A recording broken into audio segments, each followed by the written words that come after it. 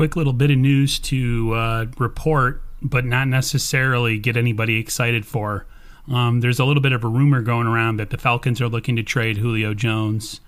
Um, some teams are being connected to it again, uh, along with the 49ers.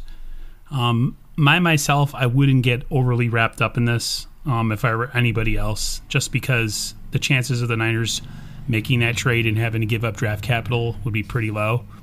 But it's definitely something to keep an eye on.